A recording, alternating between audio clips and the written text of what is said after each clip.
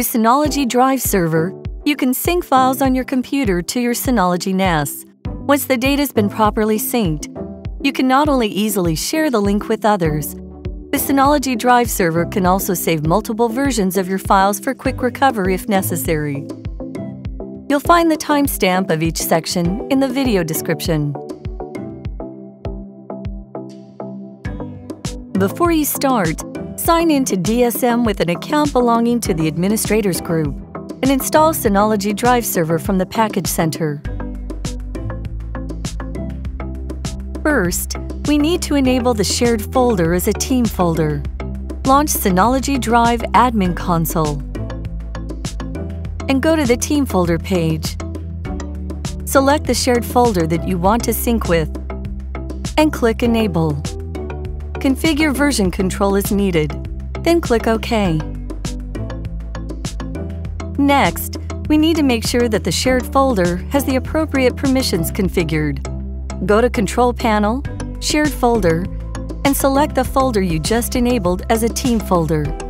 Click Edit, Permissions, and make sure that the permissions are configured appropriately.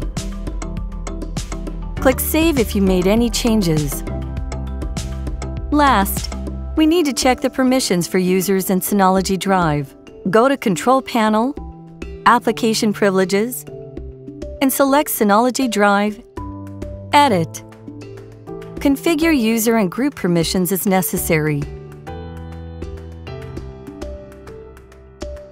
Then click Save.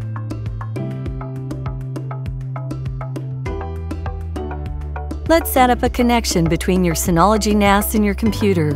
First, download and install Synology Drive Client to your computer from the Synology Download Center.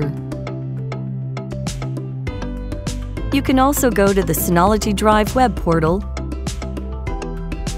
click on the user icon in the bottom left corner, then select Client, Download Client. Launch Synology Drive Client on your computer, then click Start Now. Connect to your Synology NAS with Synology Drive Server, installed using either its domain name, Quick Connect ID, or IP address and enter its username and password. Click Next. Select Sync Task and click Next. Confirm the path of the local and remote folders you want to sync. You can click Change to select different folders.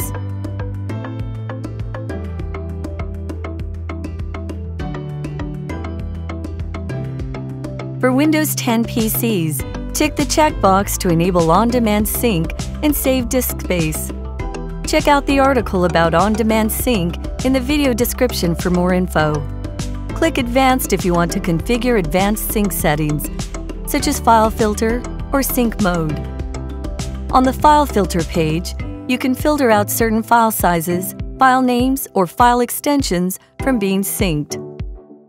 On the Sync Mode page, you can set the sync direction to two-way sync, one-way download of data from the server, or one-way upload of data to the server.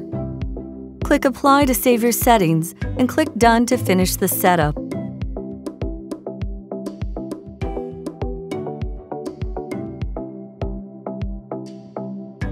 Now you should be able to find the Synology Drive Client icon in the system tray.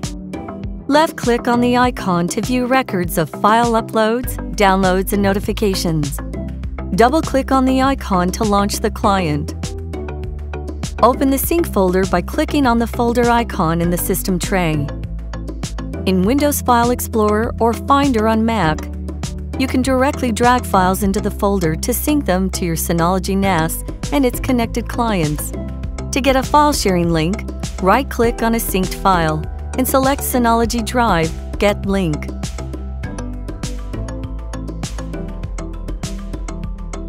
You can download a previous version of a synced file on the computer running Synology Drive client.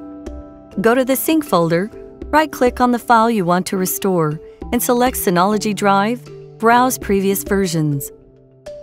Select the version that you want, and then click the Download button to download it to your computer. To learn more about Synology Drive, subscribe to the Synology YouTube channel or click on another video to keep watching.